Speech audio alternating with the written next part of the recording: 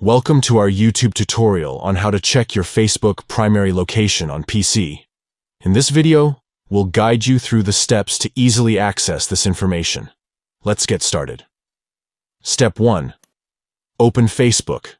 Launch your web browser and navigate to the Facebook website. Step 2. Click on your profile photo. Locate your profile photo, usually located at the top left corner of the page, and click on it. Step 3. Click on Settings and Privacy. A drop-down menu will appear. From the options, select Settings and Privacy and click on it. Step 4. Click on Settings. Another drop-down menu will appear. Choose Settings from the list and click on it. Step 5. Scroll down and click on Access Your Information. On the left sidebar, scroll down until you find Access Your Information and click on it. Step 6. From the left menu, type in primary location in the search bar and press enter. This will take you directly to the primary location settings. That's it!